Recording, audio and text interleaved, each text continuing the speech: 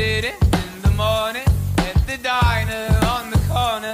I am waiting at the counter for the man to pour the